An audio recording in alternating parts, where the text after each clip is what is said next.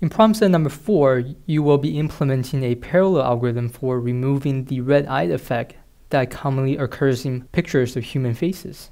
Here is an example of the effect that we are talking about. You will be implementing a simple algorithm for red eye removal that factors nicely into three different parallel operations. The first operation is a stencil computation over the image. The second is a sort, and the third is map. You have been exposed to map and stencil operations in the previous homework, so in this homework, you will focus on sorting. We start our red eye removal algorithm by computing a score for each pixel that estimates the likelihood of that pixel belonging to a red eye. And here's what the score looks like.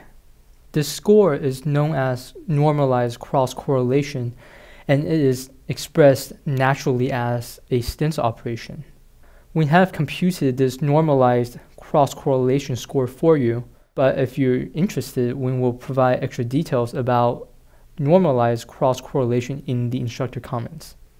Our next step is to sort all the pixels in the image according to their score. Note that the pixels with the highest scores are the pixels that are most likely belong to a red eye, as you can see here. This sorting step is what you will be implementing in problem set number 4. In case if you are interested, we will discuss several different types of optimization strategies for sorting in the instructor comments.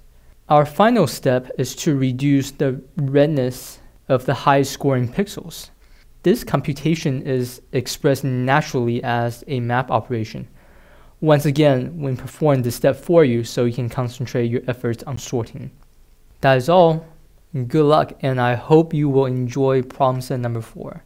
And like the previous problem sets, I want to thank Eric and Mike for writing the code and the script to this problem set. So, thank you.